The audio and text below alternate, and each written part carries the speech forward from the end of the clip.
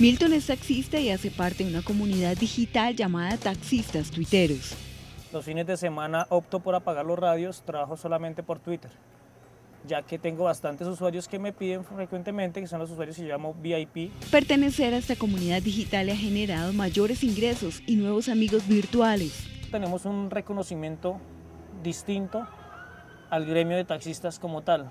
Seguimos siendo taxistas, pero ya no solamente somos taxistas del común, somos taxistas tuiteros.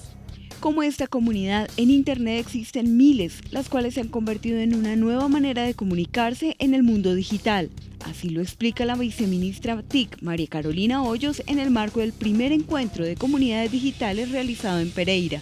Las comunidades digitales es lo mismo que en el 1.0, la gente necesita pertenecer y hay temas que a uno le interesan. Otra comunidad que durante dos años de existencia ha servido para apoyar a los afectados por el invierno es la Brigada Digital. La Brigada Digital además ha, estado presente en los momentos más importantes de Vive Digital, cuando tuvimos que atender los damnificados por el invierno, cuando hemos lanzado cada uno de nuestros planes. La Brigada Digital ha sido un muy buen parlante, un muy buen acompañante en la difusión de todo lo que se ha hecho.